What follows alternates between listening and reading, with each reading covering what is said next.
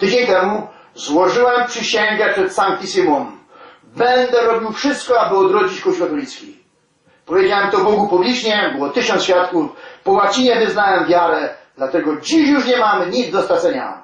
Wam pozostaje tylko jedno, zabić mnie. To możecie zrobić, ale dopóki mówię i Bóg mnie ochrania, musicie wiele rzeczy teraz kalkulować.